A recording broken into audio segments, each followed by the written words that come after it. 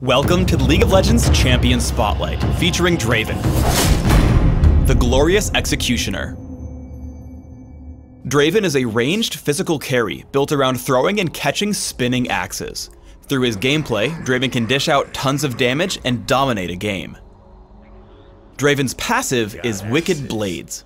Every time Draven lands a critical strike, his target starts bleeding, taking bonus damage over a few seconds. Spinning Axe causes Draven's next basic attack to deal bonus damage, apply Wicked Blades automatically, and ricochet off of his target. If Draven catches this ricocheted axe, his next basic attack will automatically throw another spinning axe. If Draven throws and catches axes long enough, he can have up to two spinning axes at once. Spinning Axe will lead Draven, so if he's standing still it will fall close by, and if he's running it will fall along his path. As Draven's main damage tool, I take Spinning Axe at level 1 and max it immediately. Blood Rush grants Draven bonus movement and attack speed for a few seconds. If Draven catches Spinning Axe, Blood Rush's cooldown is immediately refreshed. As a major steroid and damage increase, I take 1 point in Blood Rush early and max it by level 13. Stand Aside throws Draven's axes in a line, damaging, slowing, and knocking aside all enemies they hit. Mostly providing utility, I take 1 point and stand aside early, but max it only by level 18. Draven's ultimate is Whirling Death. Draven throws two massive axes across the map, damaging all enemies they strike. If Whirling Death hits the edge of the map, an enemy champion, or Draven reactivates the ability early, these axes reverse direction and damage all enemies they encounter on the way back to Draven. As with all ultimates, I take Whirling Death at level 6, 11, and 16. In early laning, try to harass your opponents by hitting as many spinning axes as possible. Use Blood Rush to catch them as they fall, or guide them by heading somewhere safe before Spinning Axe hits an opponent. Be aware that Wicked Blades will cause the turret to focus you, so stay out of range and harass as much as possible, constantly guiding Spinning Axe into safe zones to catch. In lane, sit with one spinning axe while last hitting minions, and keep catching it until you're ready to engage in battle. Draven heads in on Ezreal but doesn't fully commit because of Alistar. After Alistar uses his stun, Draven activates his second spinning axe. Keep Blood Rush active after every catch and keep throwing spinning axes.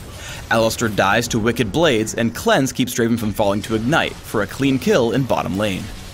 When fighting against Draven in lane, crowd control is your best friend. As Draven opens onto Ezreal with Spinning Axe, Alistar rushes in with Headbutt and Pulverize, completely stopping the push. Draven gets into a battle with Malphite. Slowing with Stand Aside while constantly landing Spinning Axe and reactivating Blood Rush drops Malphite's health pool extremely low. As Malphite runs away, Draven leads him with Whirling Death. While Malphite attempts to juke upward to escape the return blow, Draven does the same, making Whirling Death curl upward and still pick up the kill. Draven is exceptional at cleaning up fights. As he gets into a battle, he finds Renekton low, picking him up with Whirling Death and a flash into a basic attack. Draven turns to hunt Alistar, hitting Blood Rush to catch up and prepare Spinning Axe. Constantly throwing and catching Spinning Axes allows Draven to continue Blood Rush, picking up two kills in the fight. In a team fight, Draven's first priority is positioning. Even though he could cleanly hit Shyvana, he runs back behind his team until he can attack enemies from safety, this allows him to chase Shyvana while catching spinning axes and then turn his attention to Rumble. Spinning Axe picks up a kill, but instead of turning back to catch it, Draven charges forward to assist in the team fight. His team picks up the kill on Lulu and he heads in to chase down Ahri. Udyr leads the charge and stuns her underneath her turret while Draven is able to assist in the fourth kill of the fight. To deal damage on the run, Draven hits champions with spinning axes, then turns so he can keep his distance from enemies, activating Blood Rush to speed up the process. Shyvana is pushed away and then Draven turns to focus on Rumble. After Rumble falls, he keeps up with his team until finding Ahri overextended. He hits Ahri with Stand Aside into Spinning Axe and a basic attack. Ahri falls to Wicked Blades and Draven comes out with a double kill. While normally Draven should catch Spinning Axes, do not turn to catch them in front of the enemy team. Draven turns to kill some minions with Spinning Axe. Unfortunately, walking back to catch one puts him right in range of Urgot, which gets him swapped and immediately killed. I recommend building Draven for physical damage output, with a splash of durability for small skirmishes where you'll end up taking damage. For runes, I recommend flat attack damage marks, flat armor seals, magic resist per level glyphs, and flat attack damage quintessences.